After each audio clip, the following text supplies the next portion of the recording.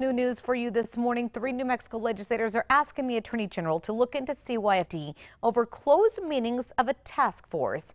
The Child Protective Services Task Force was created in 2019 as a way to help improve CYFD's Protective Services Division policies.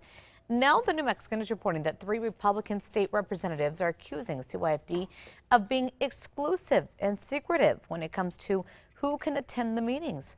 They say that's in violation of the Open Meetings Act. We'll let you know what's decided.